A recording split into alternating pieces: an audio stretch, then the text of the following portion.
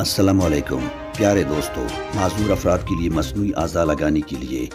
बनू में free camp का इनका किया जा रहा है, जिसमें मसनू हाथ, पाँव, उंगलियाँ और दूसरी अज़ा लगाने के लिए करक, मीरान शाह, लकी मरवत, बनू और दूसरे अजला के लोग तशरीफ़ ले जा सकते हैं।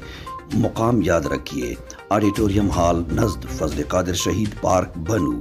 और दिन 11 अप्रैल और 12 अप्रैल, बरोज़ इतवार और सोमवार। ये program hope for special person organization Bannu